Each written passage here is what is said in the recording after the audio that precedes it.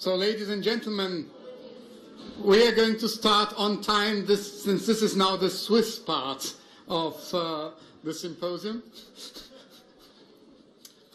so we know that uh, uh, the excellent presentations we already had have uh, uh, sparked quite some discussions. Um, um, but uh, as, a, as an adopted Swiss researcher, I have learned to keep a tight schedule. So, it is my pleasure to introduce first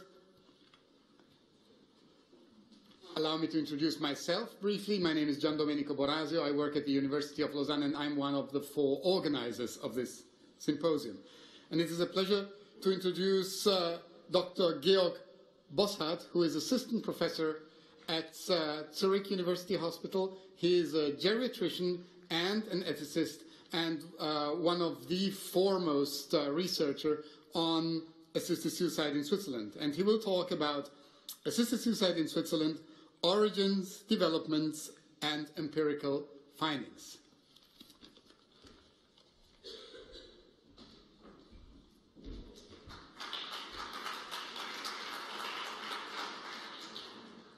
Thank you very much for the kind introduction. I'm coming from Zurich, a small place compared to Berlin. Unfortunately, no pictures, as Agnes from Rotterdam.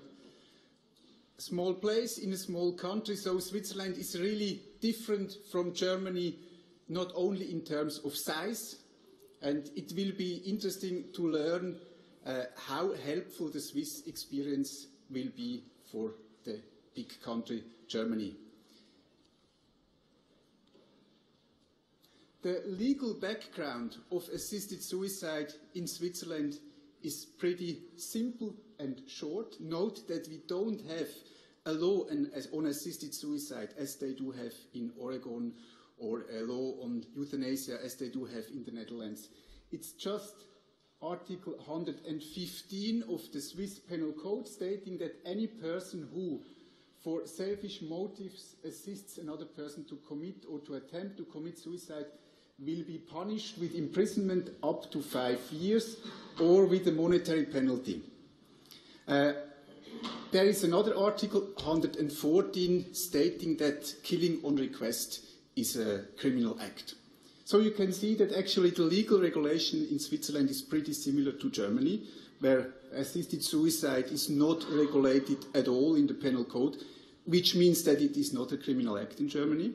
And also killing on request is uh, prohibited in Germany under, I think, Article 216 of the German Penal Code. So it seems that actually not so much legal, but cultural, historical, and sociological factors might be more important for the fact that we deal completely differently with the issue of assisted suicide than you do in Germany.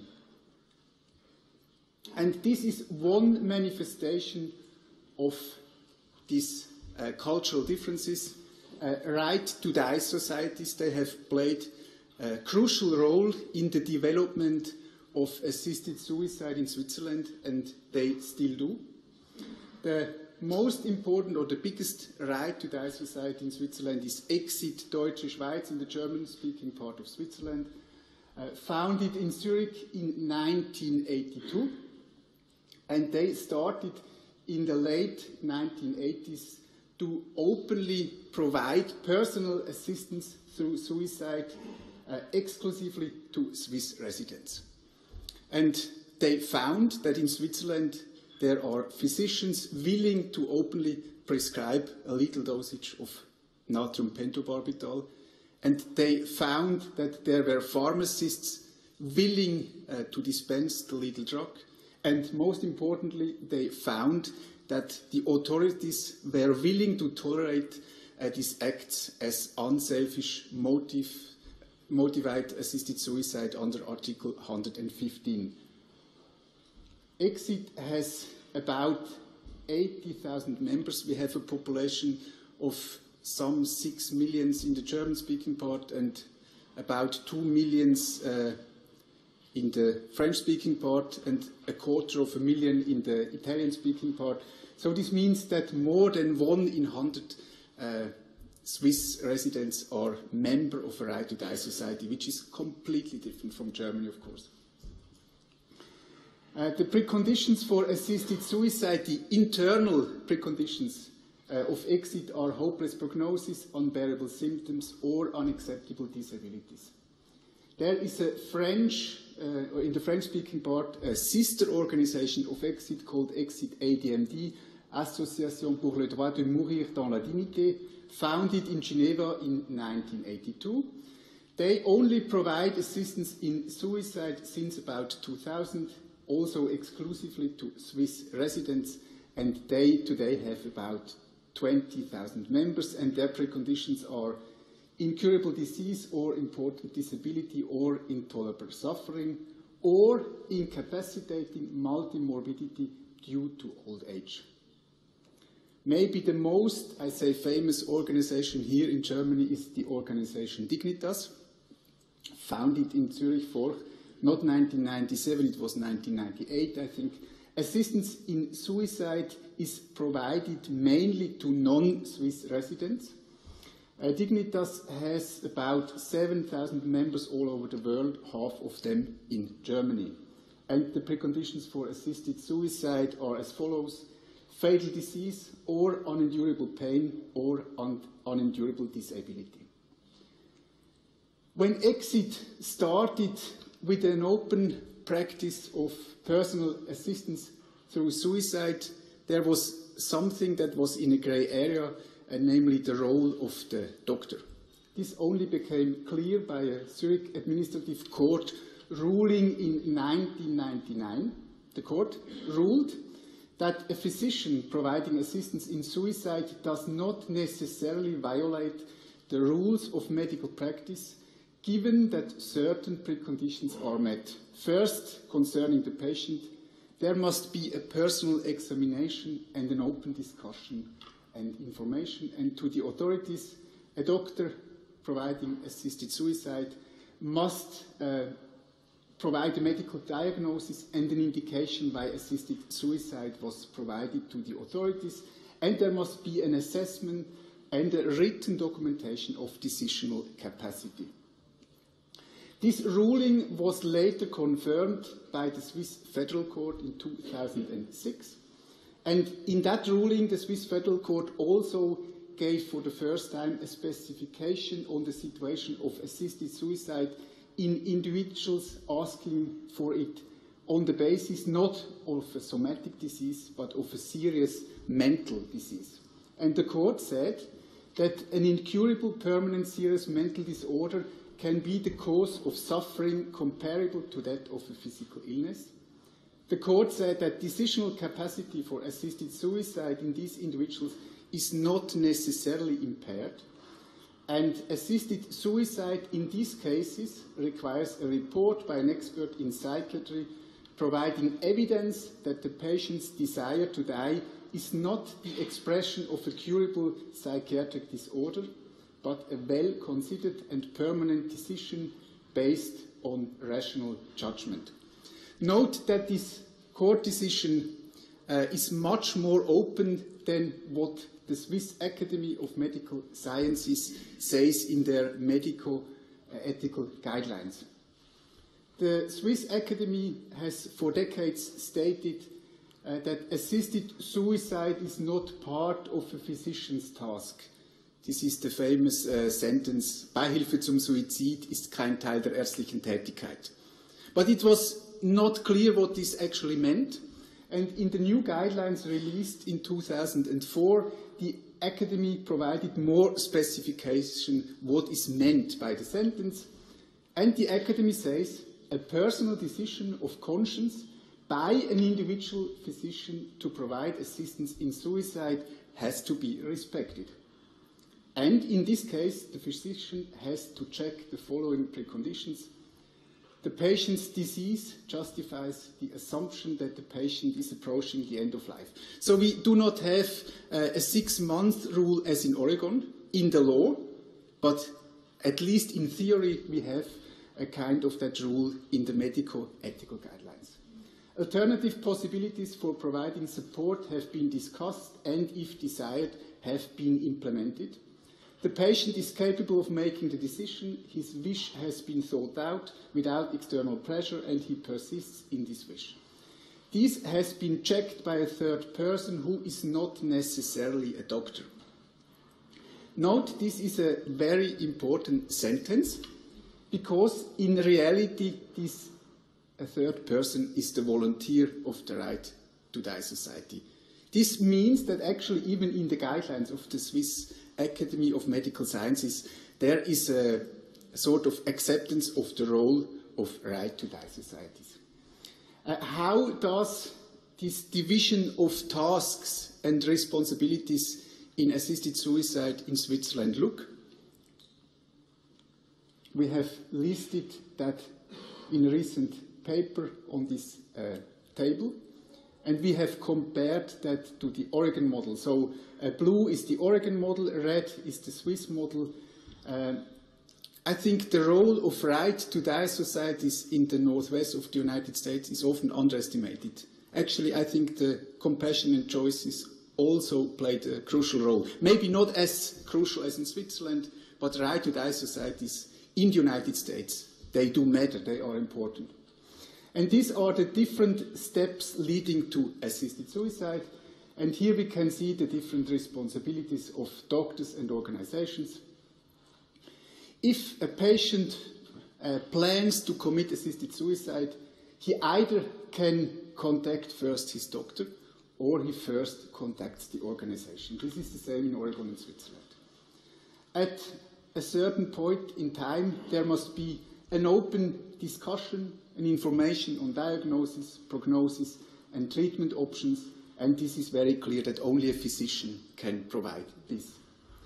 There must be an assessment of decisional capacity and uh, a checking that there is no coercion. And in the Swiss model, there is a responsibility of the doctor, but also a responsibility of the organizations. So uh, the authorities, authorities, they do really rely not only on the report of the doctor, but also on the report of the Right to Die Society, which does not seem to be the case in Oregon. Prescribing the lethal drug, of course, can only be done by a doctor. Dispensing the lethal drug, that's an often forgotten rule, but there are also pharmacists included in the procedure. And that's a crucial point, providing advice and support during self-administration of lethal drug. So who is present at death? And normally in Switzerland, the doctor is not present, of course, completely different to the Netherlands and to Belgium. But it seems that the situation is similar to Oregon, where basically not the doctor, but a volunteer of the Right to Die Society is present. Reporting to the authorities is different. In Switzerland, all assisted suicides are by the member of the Right to Die Society reported to the authorities and then the deaths are investigated on the spot by the authorities as unnatural death, as suicides. Whereas in Oregon there is no uh, on the spot investigation as far as I know. I think I'm going to skip that what is the established legal practice? So this is not case law, but it's uh, established in everyday practice. In patients who are unable to swallow, assistance in dying using IV drips is common practice. These cases are classified as assisted suicide rather than active euthanasia as long as the patient himself handles the final act leading to death, namely the opening of the tap of the drip. Charging an appropriate physician's fee to the patient for the preparatory examinations and discussions does not equal a selfish motive. Therefore, this is no violation of Article 115 of the Penal Code. And as to assisted suicide in institutions, as to hospitals, uh, in the German speaking part, in hospitals, usually assisted suicide is prohibited but it is allowed in some hospitals in the French-speaking part. And in nursing homes, the internal regulations are inconsistent. In some nursing homes, I think even in the majority, it is allowed.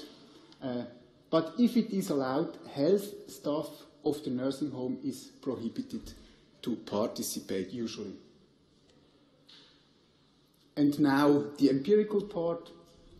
These are data, official data of the Swiss Federal Statistical Office. We can see a steady increase of the cases of assisted suicide in Switzerland over the last uh, 10 years. The increase is even more marked over the last few years.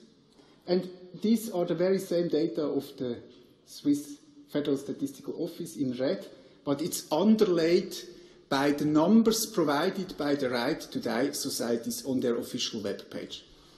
And this fits pretty well. You know, uh, Exit Deutsche Schweiz and Exit Romandie, uh, they only provide assistance in suicide to Swiss residents, and the statistics of the Swiss Federal Statistical Office only relates to uh, Swiss residents. So the numbers uh, fit almost completely, and in purple uh, we have suicide tourism. The cases have increased in 2006, and since then they are more or less stable in incidence. Where are these people coming from? Uh, Germany is the most important country. Almost half of these individuals are traveling from Germany to Switzerland, and one quarter from the UK. Other important countries are France, Italy, United States, Austria, and Canada. This is assisted suicide according to sex. You can see that in the 1990s, more men than women committed assisted suicide. Now it has changed. There are clearly more women than men uh, among those individuals asking for and also getting assisted suicide. This slide of the Swiss Federal Statistical Office uh, relates assisted suicide to suicide.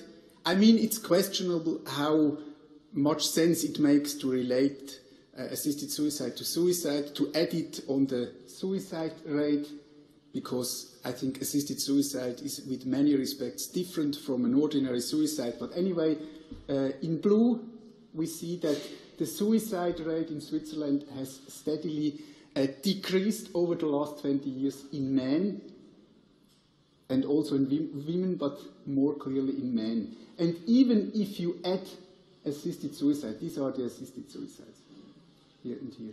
Even if you add them to the suicide rate, the suicide rate has not increased.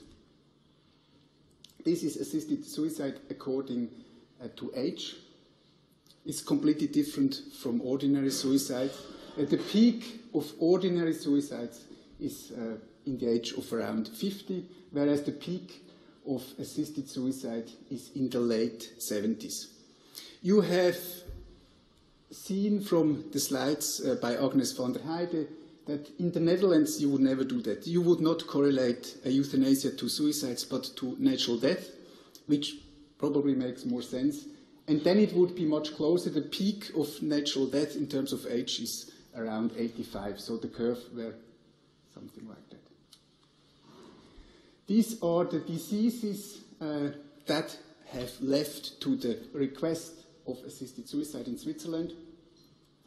Roughly speaking, we can say that around two in three cases in Switzerland uh, show a fatal diagnosis. Maybe they are not terminally ill, but they do suffer from a medical diagnosis that would inevitably lead to death. Basically cancer, but still cancer is not as predominant among assisted suicide in Switzerland as it is the case in the Netherlands, 80%, or in Oregon also some 80%, as much as I remember.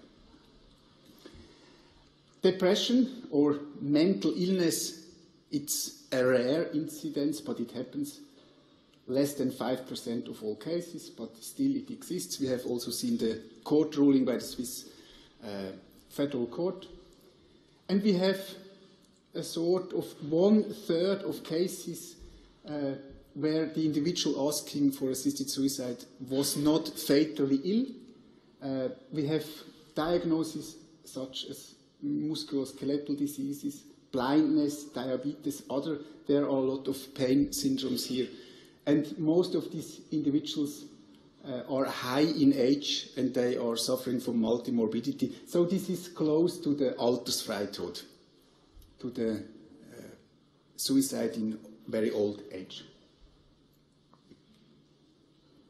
This is also on uh, the percentage of fatal diseases.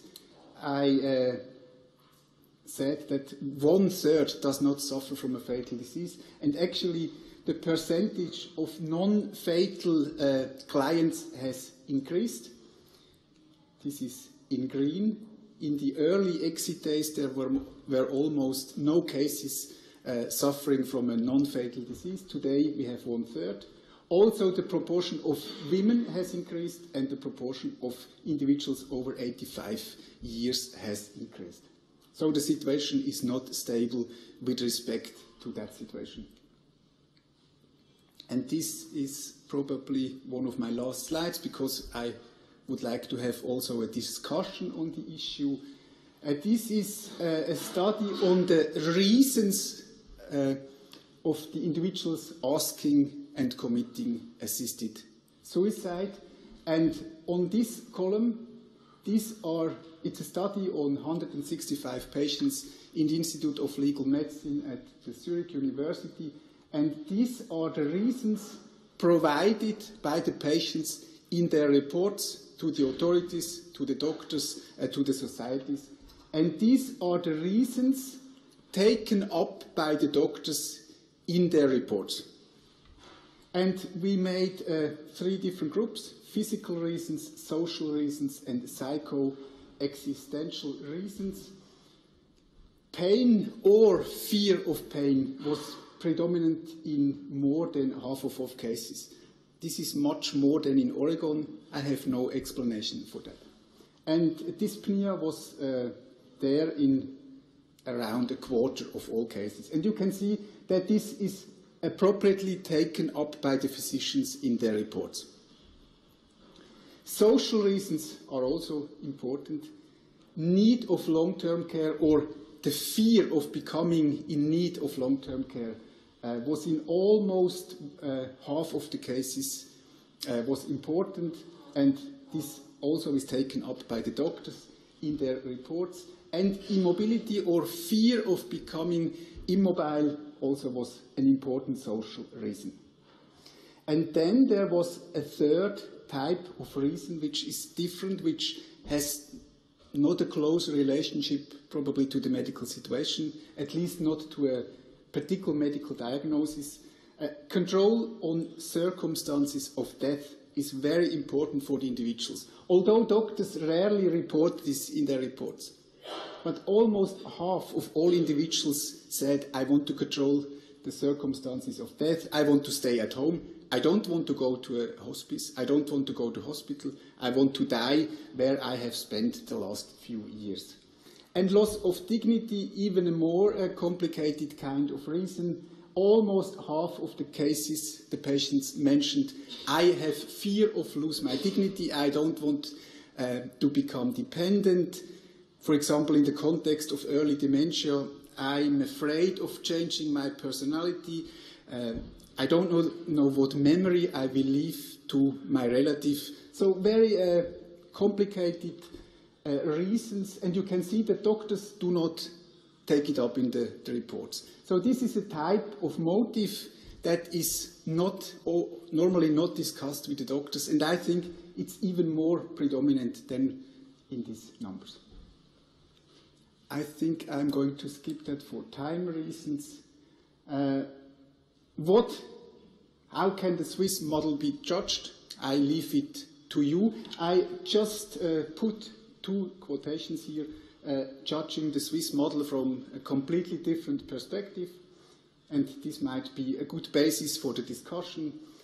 Uh, this is what my Norwegian colleague uh, Lars Johan Materstvedt and I wrote in the current edition of the Oxford textbook of palliative medicine. Uh, the Swiss practice is an instructive model in terms of showing what tasks and responsibilities can be dealt with without necessarily having to involve medical professionals. This division of tasks allows a certain distance between clinical practice and assisted suicide, that may be perceived as helpful by many doctors. And a completely different statement by the US American lawyer uh, Günther Lewy, who wrote a book on assisted death in Europe and America, uh, appeared in Oxford University Press a couple of years ago. Uh, he wrote, in Switzerland, the strong commitment to patient autonomy has at times also led to a disregard of safeguards designed to prevent abuse. There prevails a right to die mentality, and in some cases, there is little indication that alternative options, such as palliative care, are seriously considered. With that, I thank you very much for your attention and open the discussion.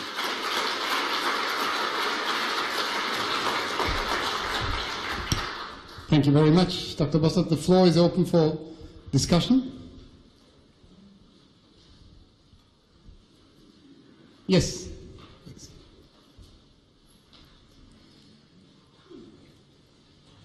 Um, in one presentation, um, um, there was mentioned control, wish of control. I question myself whether this is yes, whether this is the, the correct uh, description of what people say. Uh, in my experience, um, there are many uh, who want, who say, um, "I'm old enough. I have had a rich life. Um, further living it is not worth for me." I'm very impressed by that uh, in these old people because they uh, can explain it uh, by very many details. So uh, I question myself is control the correct word? Uh, what you mention is what we call tiredness of life, is that correct? So these elderly people saying, I'm. Yeah, yeah. Tiredness of life actually is not the same as control of circumstances of death. But these are uh, other types of uh, expressions, such as I really want to stay at home, then I can be with my family, I control the dying process. Both uh, reasons are important, but they are not the same. Any other question? Yes. One short question, Christoph Ostgathe from Erlangen again. Uh, could you comment on the trend we see in all these countries? We, we saw it from the Netherlands, we saw it from the Oregon situation, and we see it in the Netherlands that there is an increase in number of patients seeking for uh, euthanasia or assisted dying. Have you any comments on that? Well, I think it's a simple fact that the population wants to have the option of assisted suicide or euthanasia. And once you have it, uh, there is even an increase in demand.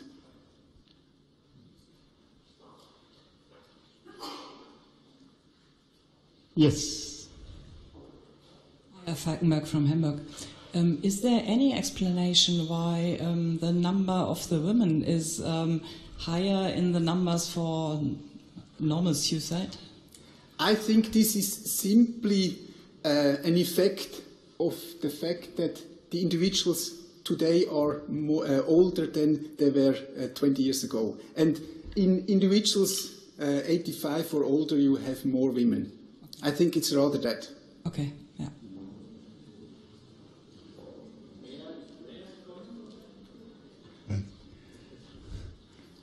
So we have one last question. But I would like to ask uh, a short question. Exit is now advocating for enlarging the spectrum of uh, um, assisted suicide to um, basically frail elderly. Uh, what would be your position as a researcher in, in, view of your data? What would be your prediction? What would that change in the practice in Switzerland? You mean in my personal life as a doctor, what it would change? What, what your prediction? What it would change for the societal practice, uh, uh, given your data that you have collected so far? What well, would change? Actually, although there is a, an increase, there, uh, the number of cases is very rare. It's, it's much rarer than in the Netherlands. And I have worked as a nursing home physician for many years in all those years, I came across two or four cases where I was seriously asked for assisted suicide, but all these individuals in the end died naturally. So it's not as common as you could believe just looking at the data. Uh, it seems to be more uh, common for GPs because normally it happens in privacy, not in nursing homes. I don't actually I don't know where we are going to.